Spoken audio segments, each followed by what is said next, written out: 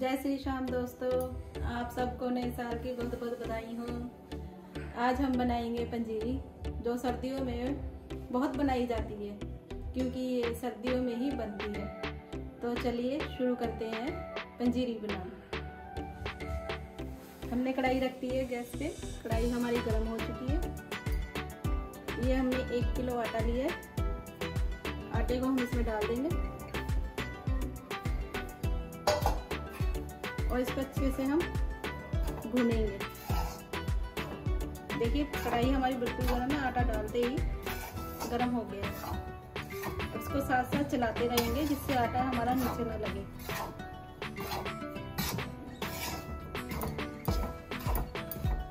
अगर कढ़ाई आपकी ज़्यादा गर्म है तो गैस को आप धीमी कर सकते हैं, जिससे कढ़ाई का टेम्परेचर थोड़ा घट जाएगा। आटे को आप चलाते रहिए ऐसे ही। नीचे नहीं लगना चाहिए। जल्दी जल्दी चलाइए नहीं तो आटा नीचे लग जाएगा, क्योंकि कढ़ाई बहुत ही ज़्यादा है।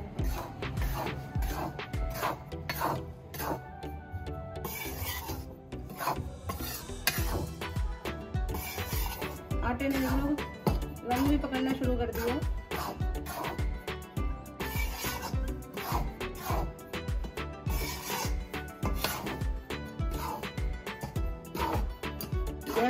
स्लो ही है।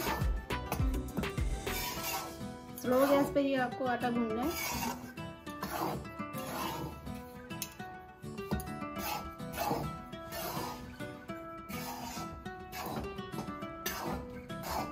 जब तक हमारा आटा भुन रहा है, हमने गैस स्लो ही रखी हुई है।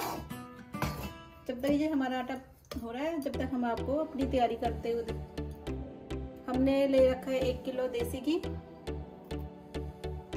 50 ग्राम मखाने 100 ग्राम मगज 100 ग्राम बादाम 100 ग्राम किशमिश 100 ग्राम, ये हमने 100 ग्राम गोंद लिया है, जो पंजीरी वाला होता है, उसको हमने मिक्सर में थोड़ा सा पीस लिया है। और आधा किलो हमने शक्कर जो हमने पीस लिया है। पूरा बना लिया है शक्कर का हमने। अगर आपको पूरा मिलता है तो आप पूरा भी ले सकते हैं। हमारे पास नहीं था तो हमने चीनी को पीस लिया। आइए, अब हम आटे को देखते हैं, हमारा आटा कितना भून है। तकरीबन आटा भी हमारा भूनने वाला है। रंग आ गया है आटे में। हमने स्लो गैस ही रखी थी, देखिए, स्लो गैस अपने आप होली होली पकता रहा आटा।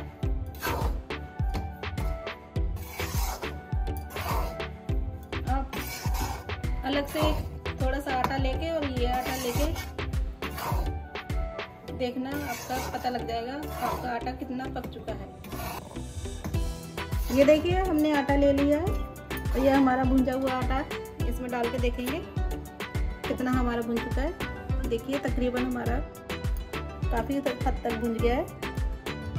और ये वाइट वाइट है और ये थोड़ा ब्राउनिश में आ गया है। इससे पता लगता है कि आटा हमारा पकने वाला है बस। आप इसको इसमें डाल के मिक्स कर दिए। थोड़ी देर और हम पकाएँगे। देखिए, हमारा आटा तकरीबन हो चुका है। इस आटे को हमने बुनने में पाँच से दस मिनट लगे हैं। और अब हम गैस को बंद कर देंगे। अब इस आटे को हम एक परात में निकाल देंगे।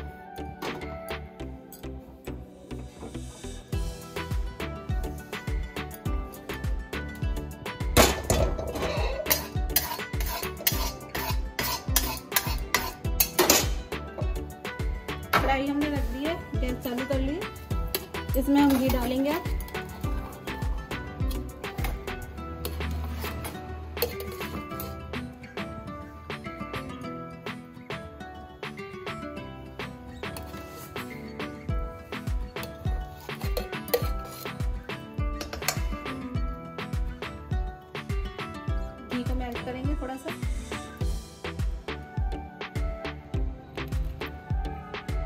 घी गर्म हो गया है, हमारा अब इसमें किशमिश डाल देंगे।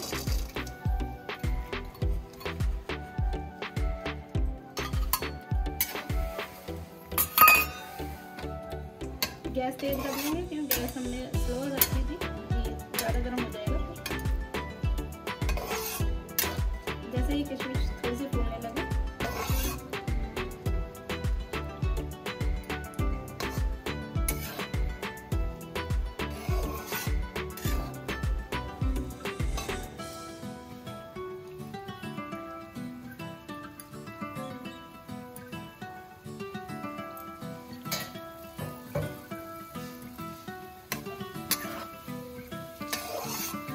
देखिए किशमिश फूलने लगी है। अब इसको फटाफट हम इसमें जो हमारा आटा है, उसके अंदर डाल देंगे।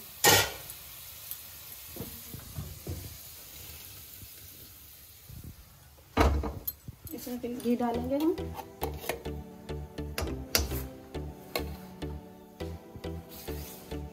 गैस को तेज ही रखना।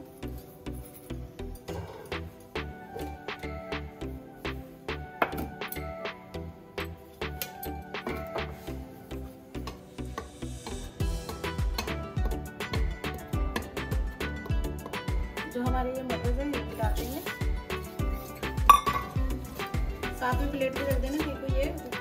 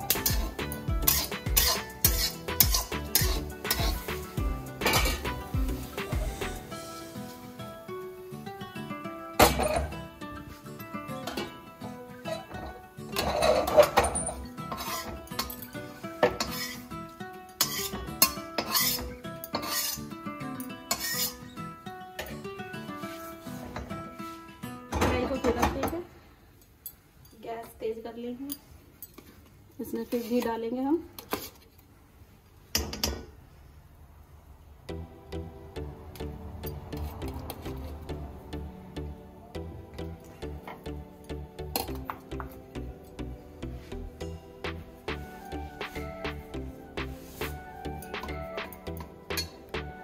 बादाम को हमने ग्राइंड कर लिया है।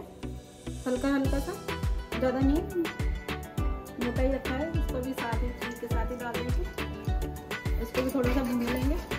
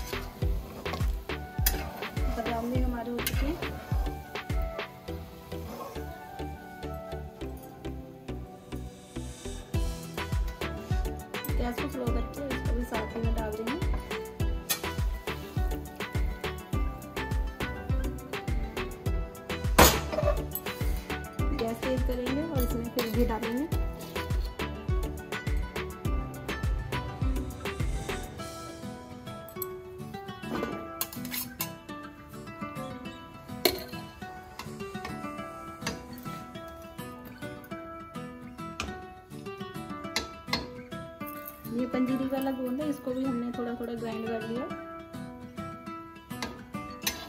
इसको भी साथ ही डाल देंगे।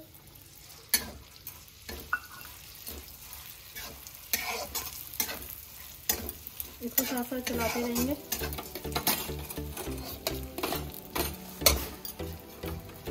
इसमें घी ज़्यादा डलेगा, क्योंकि ये फूलेगा अभी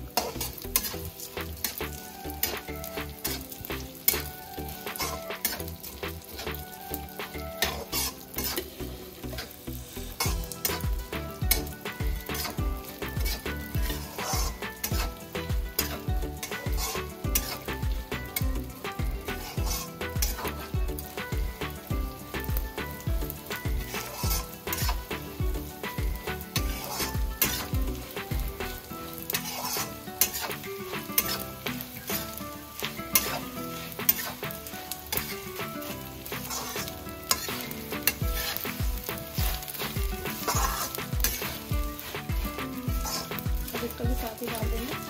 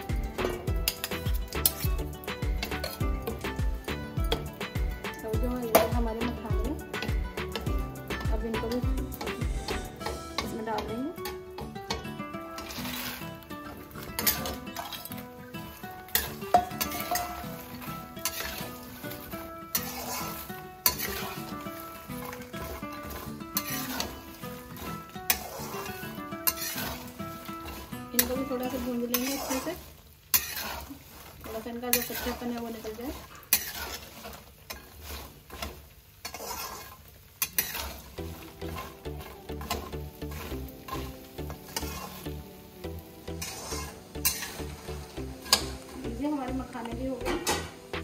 इसको मैं साथ ही डाल देंगे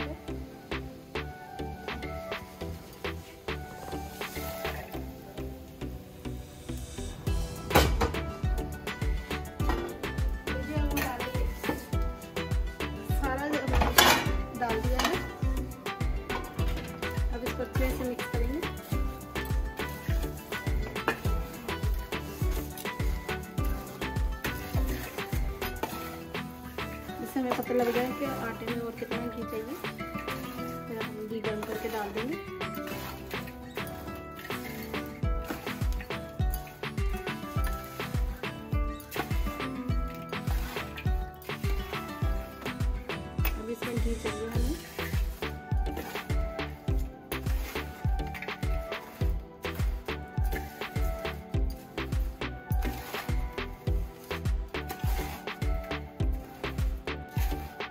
है अभी चीनी भी डालनी है इसमें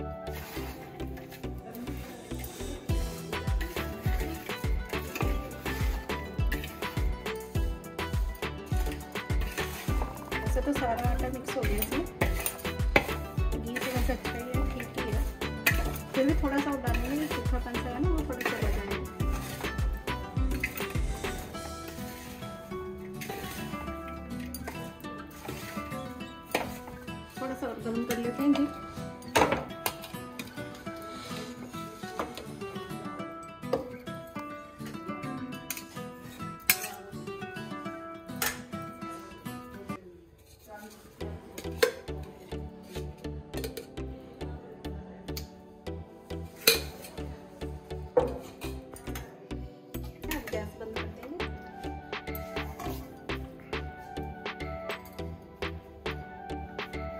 घी को इसमें डाल दें।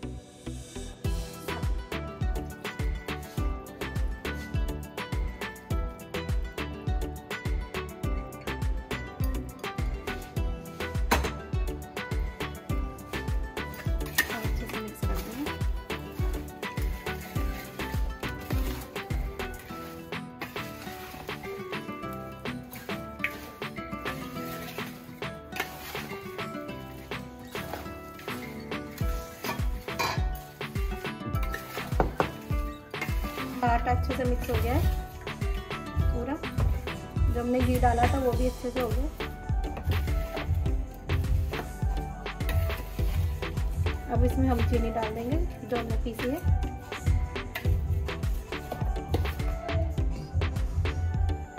चीनी आप अपने मीठ मिठास के अकॉर्डिंग डालना।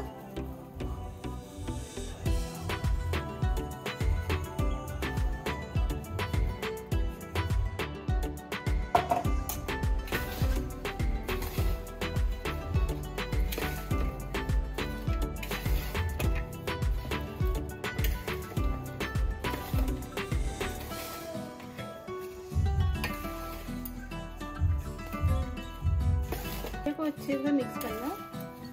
अगर कहीं ऊँचा, ऊपर नीचे रह गया तो कहीं से मीठा हो जाएगा, कहीं से तिखी रह जाएगी। अच्छे से मिक्स करना।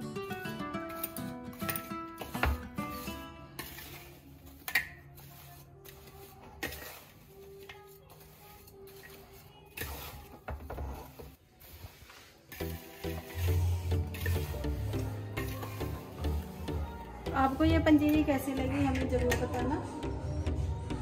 और इसको आप एक बार ज़रूर बनाइएगा ठंड में। और खा के बताइएगा आप, आपको ये हमारी पंजीरी जो हमने बनाई है कैसी लगी।